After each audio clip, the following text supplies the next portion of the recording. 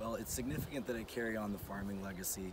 Being the fifth generation, um, there are so many years of history of families sticking together and farming through the thick and through the thin, teaching their kids to persevere through rough times and good times and being conservative with their values and their money and being careful with things. Um, it's a great place to raise a family and to keep people in touch with where their food comes from and the right way to do business.